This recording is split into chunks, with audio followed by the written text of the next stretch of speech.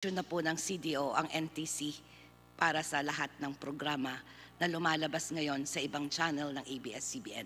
Kaya asahan po natin na mas marami pang mga empleyado ngayong araw na ito ang nawalan ng trabaho.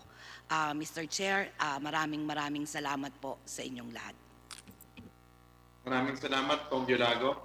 At ngayon po, ang susunod ay si Congressman Deputy Speaker Marcoleta na kung saan binigyan niya ng oras ng ah, apat o lima nating mga kasamahan. Congressman Marcoleta.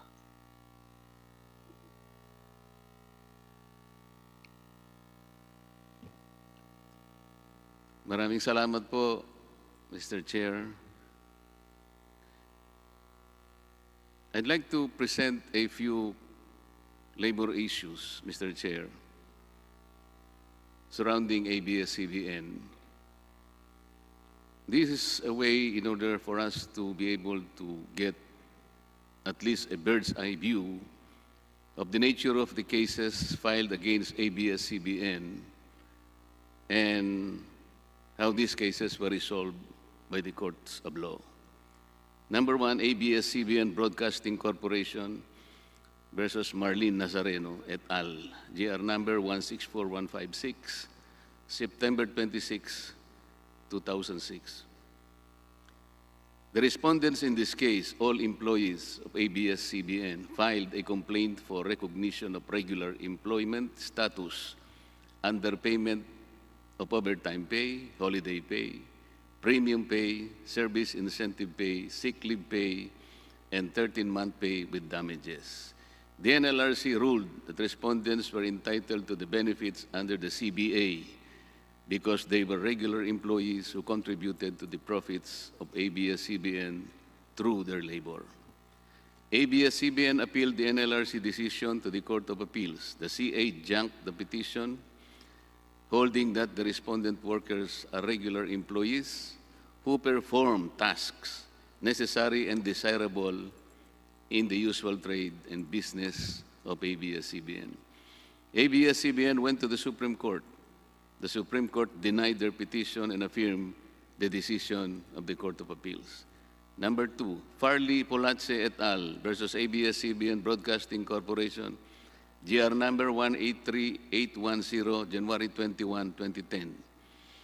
The petitioners are workers of ABS-CBN, and they filed two separate complaints for regularization, unfair labor practice, and several money claims against ABS-CBN. The labor arbiter ruled for petitioner workers, finding them regular employees of ABS-CBN, not independent contractors, entitled to the benefits and privileges of regular employees. In the illegal dismissal case, the workers' dismissal was affirmed by NLRC and by the Court of Appeals. Petitioner workers appealed their case to the Supreme Court. The Supreme Court granted the workers' petition and reversed and set aside the decision of the Court of Appeals, ruling that the petition workers are regular employees entitled to CBA benefits and declared the terminations of the drivers illegal. Number three, Nelson Begino et al. versus ABS-CBN Corporation, GR number 199166, April 20, 2015. Petitioner workers filed a complaint against ABS-CBN and its manager for Regional Network Group for regularization as they perform functions necessary and desirable to ABS-CBN's business, work under its direct control and supervision, and were subjected to annual compe- competency assessment. The NLRC affirmed the labor arbiter's decision favoring the petitioner workers. Court of Appeals, however, reversed the findings of the labor arbiter and the NLRC and ruled against the existence of an employer-employee relationship. The petitioner workers appealed their case to the Supreme Court. Supreme Court reversed the decision of the Court of Appeals and held that notwithstanding the nomenclature of their talent contracts and or program project assignment forms and the terms and conditions embodied therein, petitioner workers are deemed regular employees of ABS-CBN. It said that the test to determine whether employment is regular or not is the reasonable connection between the activity performed by the employee in relation to the business or trade of the employer. Konti na lamang po ito. ABS-CBN Broadcasting Corporation versus Honorato Hilario et al. GR number 193136, July 10, 2019. Respondent workers filed a complaint for illegal dismissal, illegal deduction, non-payment of meal allowances, with prayer for damages against ABS-CBN. The labor arbiter ruled that respondent workers were illegally dismissed and ordered ABS-CBN to reinstate them to their former or equivalent positions and to pay their full back wages and other allowances. The NLRC affirmed said decision. ABS-CBN appealed the decision to the Court of Appeals. The CA likewise affirmed the decision of the NLRC. Not satisfied, ABS-CBN went to the Supreme Court. Supreme Court upheld the decision of the CA in the payment of back wages and in lieu of reinstatement of respondent Banting and Ears of Hilario, ABS-CBN was ordered to pay them separate, separation pay equivalent to one month pay for every year of service from the respective dates of employment up to the finality of the Supreme Court's decision. ABS-CBN Corporation versus Noel Macatuno et al. is a case where seven television crew members were dismissed by the ABS-CBN. Amid the clamor for regularization, ABS-CBN forced them to sign employment contracts containing a waiver of the right to regularization. Refusing to be downgraded to project employees, the network fired them from the service. The CA appealed the NLRC ruling that the seven employees of ABS-CBN were illegally dismissed. The court further noted that the workers performed vital tasks necessary to ABS-CBN's delivery of its programs for about seven years. Having established the employer-employee relationship, the CA held that the network is liable to reinstate the illegally dismissed employees and to pay full back wages. ABS-CBN Corporation versus ABS-CBN 1JM Workers Union. Petitioner ABS-CBN petition for the cancellation of the certificate of registration issued by the DOLE on ABS-CBN IJM Workers Union as a legitimate labor organization. The main claim in the petition was that union misrepresented itself as legitimate labor organization and its members are not employees of ABS-CBN.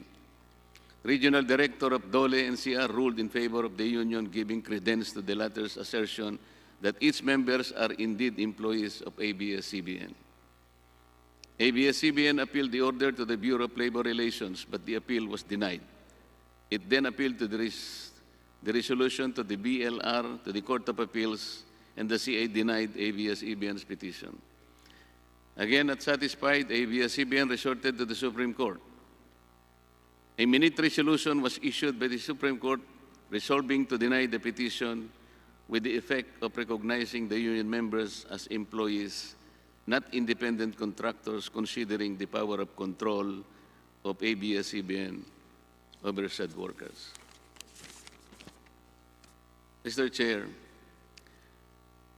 I think these cases I, I presented are good representative samples indi- indicating how ABS-CBN treated its workers. If these workers are, I would say, characters in one of their telenovelas, it will probably serve a microcosm of how ABS-CBN regard our labor laws that protect the interests of the working class. How ABS-CBN pay lip service to the kapamilya concept that they pontificate from their ivory towers. Charity begins at home. We always say that, Mr. Chair. Pero pagkapamilya mo, Mr. Chair, hindi mo tinatrato ng parehas. Meron kang paborito. Palagay ko, hindi nagagamit yung salitang kapamilya. With all due respect, Madam Cory Bidanes, please. Kayo po ba ay meron ng pamilya? Yes, Your Honor. Meron na po. Yes, Your Honor. I have three children po. Opo. Ah, ipagpal ipaghalimbawa lamang naman po ito, ano? Halimbawa lang na yung pong inyong may asawa ay nakagawa ng isang bagay na labag sa batas. Halimbawa, ang asawa po ninyo, ta, iniisip ko naman siguro mabait yan, ah, bukod sa gwapo siguro, matulungin, ah, kaya naman nagustuhan nyo siya. Pero lahat po naman ng tao nagkakamali kasi. Halimbawa lang po na nagkamali ang asawa nyo, nakalabag sa batas. At ah, siya po'y inaresto. At uh, maring nakulong po. Pwede po bang gawin nating depensa sa loob ng husgado na kawawa naman po yung mga anak namin. Kawawa naman po yung mga kaibigan namin, mga kababayan namin natulungan niya sapagkat matulungin tao ito eh. Ang totoo po niyan ay hindi mabilang po ang lahat ng mga naibigay niya ng pagtulong sa komunidad. Napakabait na po na tao yan. Pwede po ba natin gawing dahilan yun, ah, Madam Cory? Your Honor, wala po kaming nilalabag na batas. Um, Hindi po, yung example ko lamang yung po. example ko po, kung ang asawa ko yon, ah, he'll- he's innocent until proven guilty po. Ano po yung sagot niyo, ma'am? Sabi niyo po, kung makulong yung asawa ko dahil sa Example lamang po yun, kaya- Yun nga po. So ang ang example ko po, ang sagot ko po doon is, 'di ba, inosente po siya hanggang proven guilty. Hindi nga po eh, nakulong na nga po eh. Ikukulong mo na po siya eh. Pwede po ba nating, ganito po, nangyayari naman po sa buhay nating lahat ito at ah, ang totoo po niyan, putok ang kulungan sa rami po ng mga taong nakukulong. Talaga pong ganun eh, nagkasala sila. Ang tinatanong ko lamang po sa inyo sa paghahalimbawa sa isang pamilyang katulad ninyo, nandun na po, ah, nakarap na po tayo sa husgado. Napatunayan na po na nagkasala. Pwede po ba nating habulin yon at sabihin nating kawawa naman po yung mga pamilya namin, mga kaibigan namin, mga taong natulungan po namin sa lipunan sapagkat napakabait po ng asawa ko. Ang ebidensya po ang pinag-uusapan kasi rito eh. Ang nagpakulong po sa asawa ninyo, sa ginamit nating halimbawa, may mga ebidensya na iniharap po sa husgado. So ang tanong ko lamang po sa inyo, pwede po ba natin gamitin yung kabaitan at napakarami nating ginawang pagtulong sa ating kapwa para yung paglabag po ay napatawad? Ma'am Cory.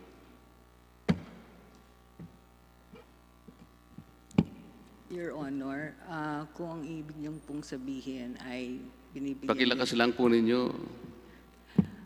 Your Honor, if your example is descriptive of what we are going through now po, uh, I would like to uh, tell you po that because I've been with the company for 34 years already, uh, hindi po kami perfecto.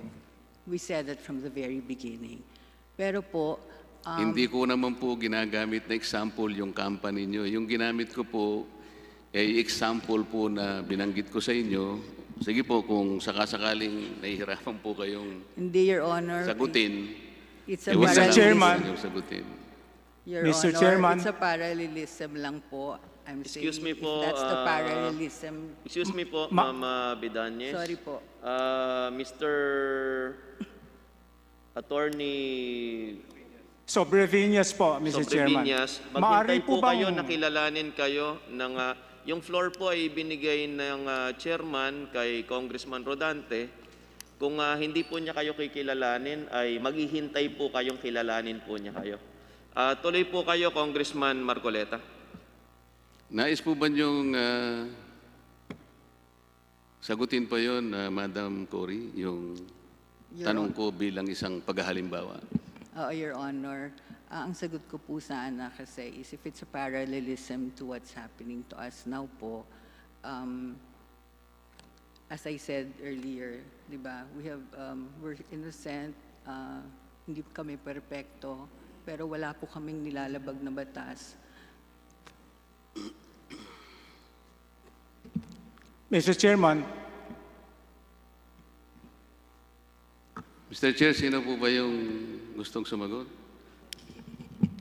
ma- ma- ma- ma- Ah, Congressman Marcoleta, yung floor po ay ibinigay sa inyo ni Chairman Chicoy at ah, nasa inyo po kung kikilalanin niyo po yung ah, Sino nga po yung... si Sino, Attorney Francis ah, Congressman Marcoleta. Your, nasaan po siya, Mr. Chair? Your Honor, si Attorney Francis po from ABS. Ay, opo, sige po. Eh, pasensya na kayo. Di, na, Sini- natatakpan po kasi kayo. M- Mr. Chairman, sin- sinimulan po ang ah, ang diskusyon sa pamamagitan ng isang recitation ng ah, ah, mangilan-ngilang ah, desisyon ng ating Korte Suprema kung saan natalo ang ABS-CBN. Sandali, mo, sandali po. Ang, ang pinag-uusapan Move to natin suspend, dito... Mr. Chairman. Hearing suspended.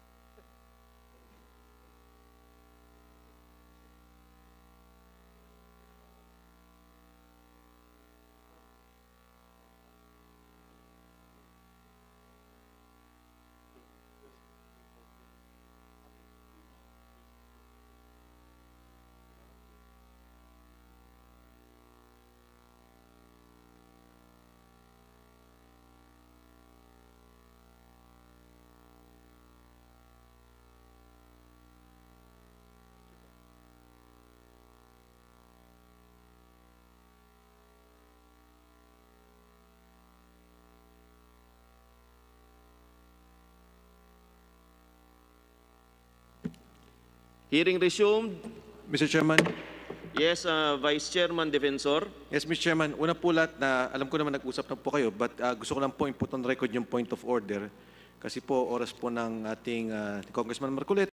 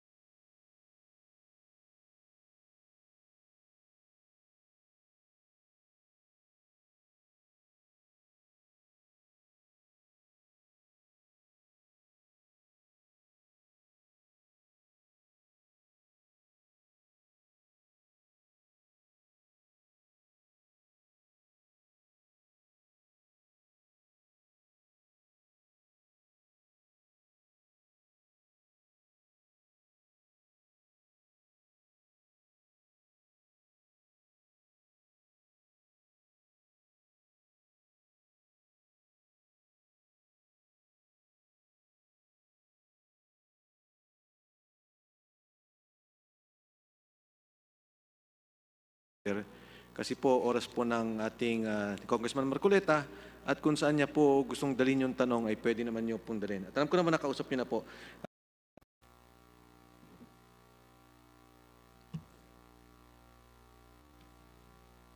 Ang, at, ang akin pong ah, ah, punto, eh, can, can we keep it uh, off the record, uh, Your Honor, because uh, I was uh, compelled to uh, uh, request uh, to be recognized on account of the nature of the uh, question propound to Ms. Vidanes. Yun lang po naman. Yun lang po naman yung tanging dahilan.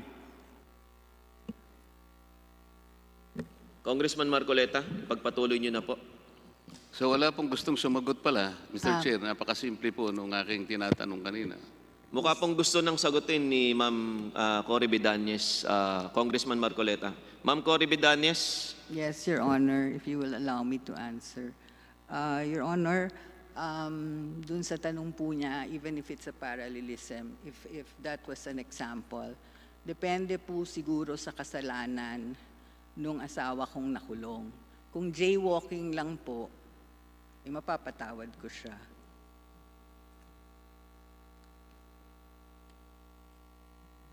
Iyon na po ba yung sagot niyo, ma'am? Yes, Your Honor. Baka gusto po niyong dagdagan. Kasi po, kung siyempre, iba na po kung nag, nakapatay siya ng tao, iba na pong kaso yon. Hindi po masyadong malaking ano na yun. Ang sinasabi ko lang, yung maliit na kaso na maaring makulong siya ng tatlong araw, limang araw. Pero dahil nga po sa, siyempre iba naman yung nakulong. Andyan yung mga anak at maaring nagsisikip ang dibdib ninyo, pati yung mga taong natulungan. Medyo hahabol lamang sa korte na pagpasensyahan na po natin kasi ang dami pong natulungan yan. Kami lamang po ng mga anak niya. Mahirap po namang maiwanan kami. Yun lang naman po eh. Kaya ang tanong pong nananatili ay, po pwede bang gawin nating dahilan yon para sabihin natin sa judge, Judge, huwag mo nang ikulong ang asawa ko. Ah, napakabuting tao naman yan. So pwede po ba nating sukatin yung pagtulong na ginawa ng isang tao at ang kanyang kabaitang nagawa sa harap ng isang pagkakasalang nagawa niya. Hindi po ganun eh. Ang korte po ang magpapasya sigun dun sa ebidensyang inilahad sa kanila. So, hahatol po yung hukom eh. So, sasabihin niya, pasensya na po, trabaho lang po ito. Kailangan po talaga nating patawan siya ng kaukulang parusa kahit na po pinakamabuti na asawa o pinakamabait na miyembro ng isang komunidad. Ganun po yung magiging hatol ng korte, madam. Ah, isang tanong po pala kay Mr. Mendoza, Mr. Christopher Mendoza. Yes po. Kahapon po at saka maging kanina nung ikaw ay tanungin ng isa sa kasama namin, ah, sabi niya, nagtataka ako, sabi niya, sa, dahil sa kahit na dumaan ka sa maraming pagsubok sa buhay mo, dahil nga sa kadahilanan na tinanggal ka, hanggang sa pumunta ka pa nga sa korte, pero nasabi mo pa rin na no to shut down, eh, di ba? Yun ang tinatanong sa'yo. Opo. Nasabi mo, di ba? Opo. Pero, di ba personal lang sa'yo yun? Sa personal mong sentimiento, Opo. No Nasabi ko po yun, totoo po yun, no to shut down po ako. personal Pero mong... po, opo, personal ko po yun. Okay. Yung, yung personal mo bang conviction, sentimiento, maaaring mangibabaw sa harap ng naguhumihay, nag, naguhumiyaw na katarungan na hinahanap ng mga kasama mo at iba pang mga kawani ng ABS-CBN na maaaring masadlak sa ganyang uh, kalagayan, humihingi ng katarungan hanggang ngayon ay hindi pa nakakamit. Opo. Mangingibawa, mangingibawa ba ang pansarili mong conviction. Hindi po, kaya kung, di ba sabi ko nga po, no to shutdown po ako. Pero po, kaya nga po may pero eh. Kung may pagkakamali po, may paglabag sa batas, maraming violation, at ang kaparusahan sa mga violation na yan, na under ng konstitusyon, ng saligang batas, na ginawa po ng mga kongresista, kung kinakailangan pong i-shutdown, i-shutdown po. Salamat. At kahapon, meron kang tinatanong, minsan napapatingin ka pa nga sa akin, pagka ba maraming paglabag ka mo, Opo. halimbawa yung kumukuha ng lisensya, tad-tad ng violation yung driver, Opo. yun ba ka mo ay kailangang bigyan pa o i-renew yung kanyang lisensya? Ganun ang pagtatanong mo kahapon kung hindi ako nagkakamali. Tama Opo. ba? Tama po. Alam mo yung pagtatanong mo na yun, ang tawag doon ay rhetorical question. Ang ibig sabihin ng rhetorical question, yung sagot nandun na eh. Tama. Opo. O yun. Salamat sa iyo. Ang ibig lang sabihin, hindi na pwede talaga. Yung sagot na yun, nandun sa tanong. Yun ang rhetorical question. Kahapon po, Mr. Chair, merong nagbanggit na mga incidental activities na hindi ko lang po, hindi ko na po matuntun kung sino po yung ah, naglahad mula sa ABS-CBN. Ano po ba yung mga tinatawag na incidental activities ng ABS-CBN? Um, Mr. Chair, may I be recognized? Yes, ma'am.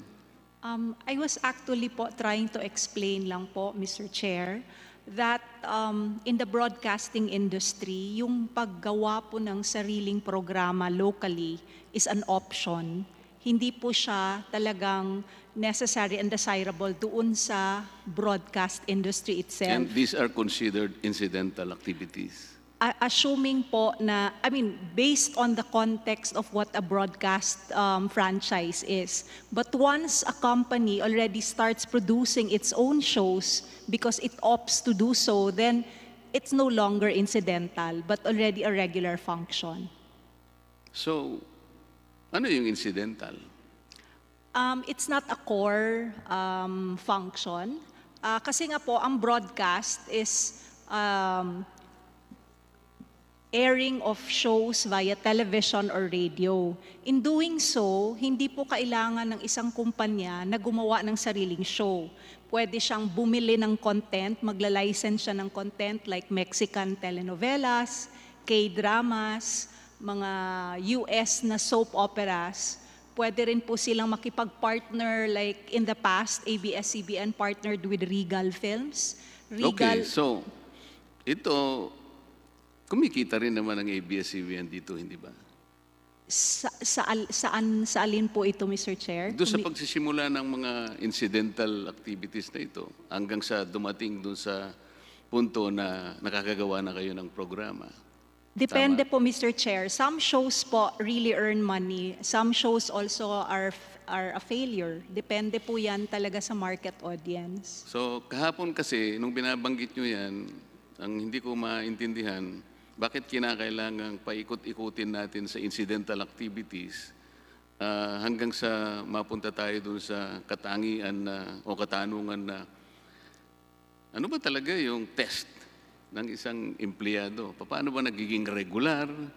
Kasi nga sa dami po ng iniikutan natin, nagkakaroon ng confusion tuloy kung saan ba tayo talaga papunta. Kagaya po ng pagpapaliwanag ninyo, kahit papano kung isipin, I'd like to believe that I have a, a fair level of intelligence. Pero nahihirapan po ako eh. Pasensya na po. Ah, hindi ko gusto ko kasing matingnan ano ba yung proportion ng labor cost dun sa mga incidental activities na binabanggit nyo kahapon eh. Para bang ito, ginawa natin ito. San-san papunta? Ano yung produkto? Wala bang labor na nagamit doon? Yung labor content, gusto ko kasing palitawin na kahit gaano kaliit man yon, kailangan makita natin yung contribution ng labor. Eh. Kaya gusto kong itanong sa inyo, kung susumahin natin yung uh, kita doon, pwede ba nating ma-estimate kung magkano ang kinikita doon sa mga yun? I'm not, I'm sorry, Mr. Chair, I'm not in a position to answer with regard to income. I have no personal knowledge po. Okay, let's go to the other area. Meron pong nagsabi kahapon na meron isang dole order na kung saan eh, nagkaroon yata ng parang routine inspection. And after that routine inspection, parang ang nangyari, nagkaroon na ng isang parang carte blanche na parang certification ang nangyari. Oh, wala ang paglabag ang ABS-CBN. Is Didole Yusek still here, Mr. Chair? Kasama pa po natin na Congressman Marcoleta. Dole, you're now recognized.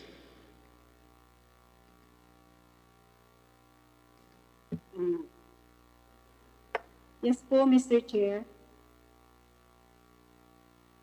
Yes po. Ah, kayo po si Yusek Ana, ma'am. Yes po, sir. Kanina rin po, tinanong kayo roon dun sa tungkol sa, ano po ba yung dole order? Ano po ba yung inspection routine na ginawa ninyo na kung saan ginagamit po ngayon ng ABS-CBN na parang ito ay isang ah, ah, all-encompassing certification that ABS-CBN has no labor violations whatsoever. Wh- What is that routine inspection about? Ah, Mr. Chair, Your Honor, mabuti po at naitanong ninyo yan. Kasi po, yung mga lumabas na parang mga banner headlines, eh, ah, may reservation po ako doon. Kasi po, yung ah, order namin pertains only po sa mga Ganito po, ma'am, pasensya na po. Ganito. Ano po ba yung ano po ba yung inspection? Saan po kayo nag-inspect? Mr. Chair, Your Honor, nag-inspect po kami doon sa premises ng ABS-CBN Corporation. So, in-inspect nyo yung premises. Ah, pwede ko po bang i-assume na tinitingnan nyo yung work site, kung, kung healthy yung work site, halimbawa kung hygienic, kung ventilated, ganun po ba yun? Ah, kasama po yan, ah, Your. Okay. Sa mga yun po ay merong limited coverage lang. Ibig sabihin, tsaka yung period, siguro nung dumating kayo, ay sa araw na yon, yun po ba ay isang measure na kagaya ng ini-imply ngayon ng ABS-CBN na ah, parang klarong-klaro o walang paglabag kahit anong violation with respect to labor laws, wala ang ABS-C. Pwede po bang magamit yung order na yon, ah, Madam Yusek? Ah, yan po, ah, Your Honor, yan po yung gusto naming i-clarify that ah, yung order po na nilabas namin ay patungkol lamang po doon sa period ah, na, na covered po ng ah, routine inspection. Kaya nga po, we're also having reservation na parang blanket na po ito na walang paglabag. Sa mga Ah, ma'am, ang ibig niyong sabihin, hindi ito katibayan para sabihin ng ABS-CBN na wala silang anumang paglabag kung ang pag-uusapan ay ang ating mga labor laws. ah, yes, ah, tama po yun, Your Honor. Salamat po, Ma'am Yusek. Kahapon po, ah, Ma'am Cory, meron ding nagbanggit tungkol sa labing apat na company benefits. Ah, Mr. Chair, ako po yan. Okay. Marami po ito. Okay na okay po ako rito. Ano-ano po ba? Bigyan niyo mga tatlo, apat. Masyadong marami po yung 40. Mga, ano-ano po bang mga benefits ito? Rice subsidy po. Um, contingencies loan, like medical loan, emergency loan. Uh, cash gift. Uh, life insurance.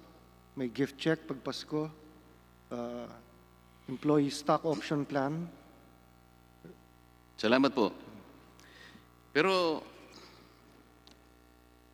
pwede po kayong sumang-ayon sa akin na ang pinakamagandang benepisyong may bibigay ninyo sa inyong empleyado ay yung ma-regular ang kanilang employment. Kasi po, kahit siguro isa lang ang ibigay niyong benefit, kung yun uh, will mean regularization of their employment. Itong labing apat na ito siguro eh. Ipagpapasalamat din nila ito pero mas gugustuhin po pa nila siguro yung ma-regularize sila. Because by being regular, I think you can maintain a very loyal workforce, hardworking, at magiging tapat silang lalo sa inyo. At lalong kakapit yung salitang kapamilya. Sapagkat yun po kasi ang pinaka-espiritu o diwa ng isang kapamilya. Nabigyan mo siya ng kasiguruhan sa kanyang paghahanap buhay. Sana po ay madagdagan po ng isa pa. So maging labing lima na po yung ating uh, company benefits. Pwede po mag, uh, Mr. Chair, pwede po mag-comment? Opo. Opo. Uh, Mr. Chair, um, tulad na, na ng nabanggit kahapon, uh, the company hires its workers uh, following the labor code uh, and also the, the civil code. Ano. Yung, yung pong, I think, the, the, yung basic na katanungan dito, yun po bang trabahong program employee, is that a regular position or a project position? Uh, again, ano, fa- I, I can't remember who read it earlier. Yung Article 280 po ng Labor Code uh, says if the job is usual, is necessary and desirable, uh, and the, the company exercises control, it's, it's regular. Ngunit, if the, if the task po has been fixed for a specific project or undertaking, the completion of which has been determined at the time of the, of the engagement of the employee, the, the job po is a project employee job.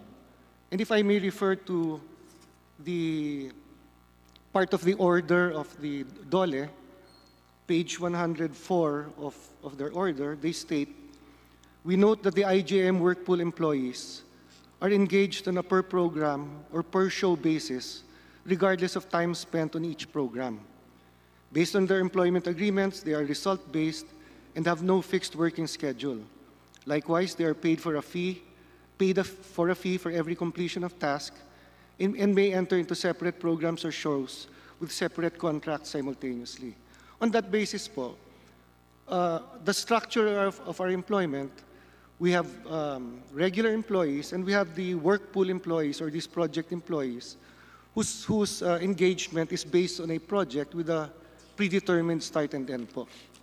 So, but nevertheless po, um, these project employees that fall into, as mentioned by the uh, Dolly order, that fall into our work pool, are given all of these benefits, um, 14 of which uh, exceed the benefits that are required by law. So, uh, and uh, to the Honorable Congressman's uh, comment earlier about the company not caring for its human resources, uh, if I may uh, just comment po, I, I, we, we have a different perspective on that po. Ano? Um, we take the best care of our workers in a way that allows us, the, com- the company, to continuously be competitive and sustainable po.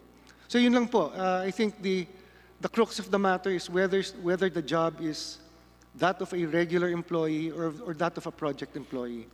Our structure po is based on the labor code, uh, Supreme Court decisions, um, and also the uh, civil code po, Your Honor. Thank you po. Yun lang po, Mr. Chair. Salamat po, Attorney. Ah, lahat po ng sinabi ninyo ay ah, maaari pong ah, ipahayag yan sa lahat ng korte ng ating bansa bilang abogado. Tungkulin naman ninyo na ipagtanggol ang ABS-CBN sapagkat kung inaakala ninyo na ang kapakanan niya ay ah, nasasaling, halimbawa, kailangan ninyong ipagtanggol yon.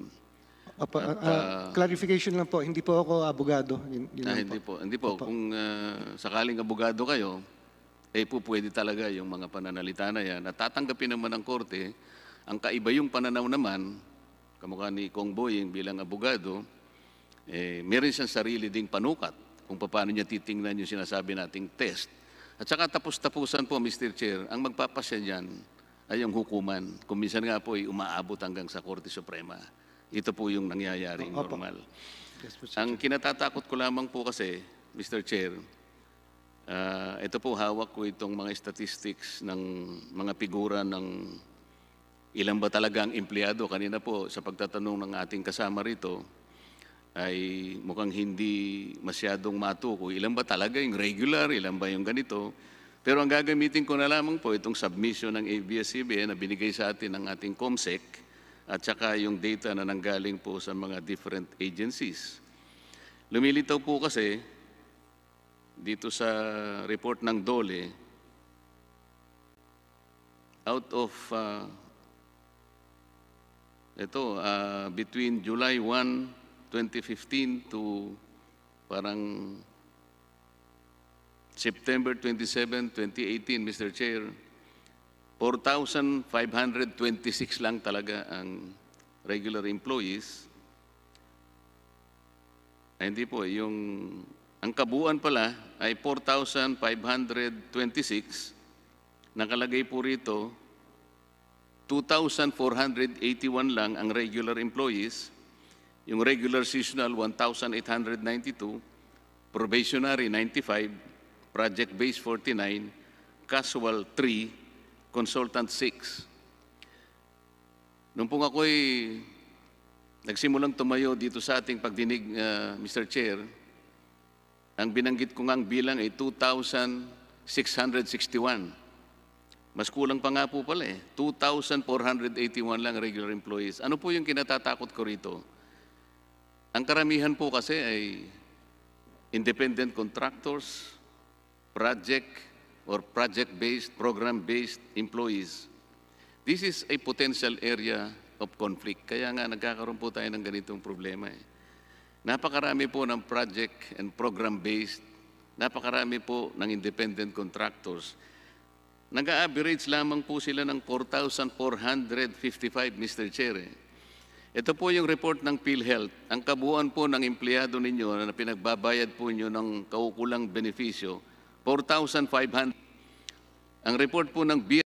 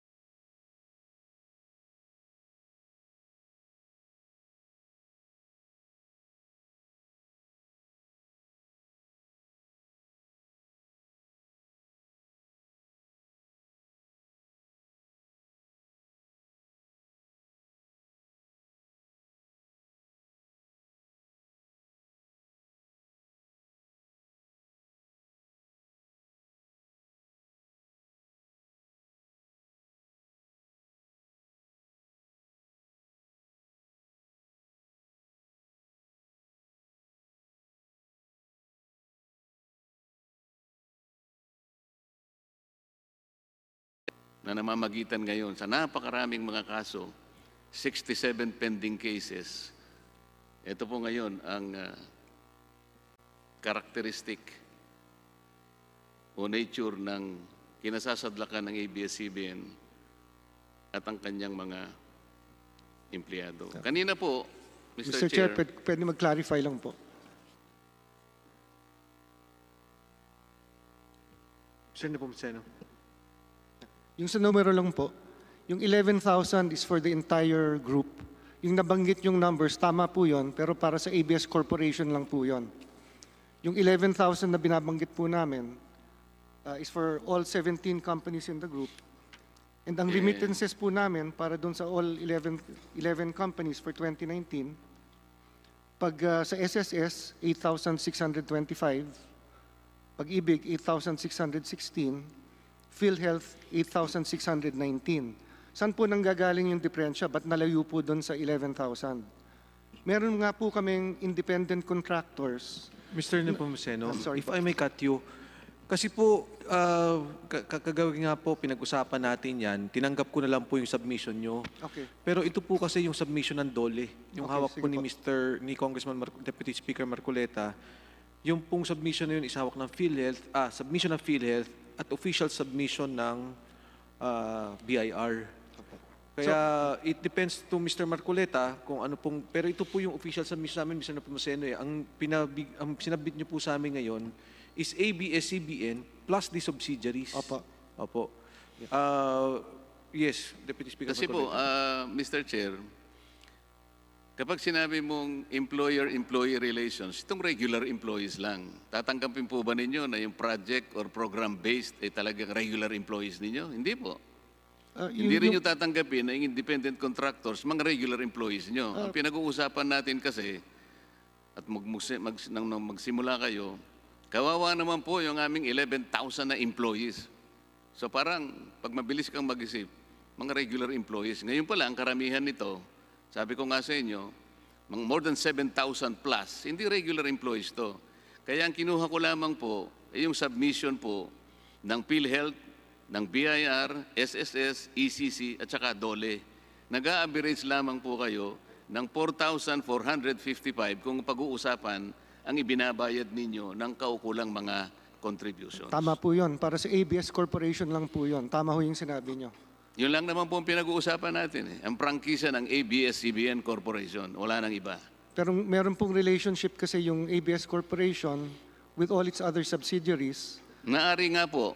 Pero kapag pinag-uusapan, employer-employee relations, ayaw po niyong tanggapin na mga employees po ang independent contractors. Kaya wag na nating ipilit yun sapagkat ang pinag-uusapan lang natin dito, regular employees. Pero apektado din po sila pag nawala yung prangkisa ng ABS-CBN po. Yun lang po, Mr. Chair. Talaga pong maraming apektado. Kagaya po ng paghahalimbawa ko kanina, dapat po yung padre de pamilya na yon, inisip niya ang consequences na maaaring mangyari sa pamilya niya, sa mga kaibigan niya, sa komunidad. Kaya kinakailangan maging ehemplo siya ng pagsunod sa lahat ng batas ng ating bansa.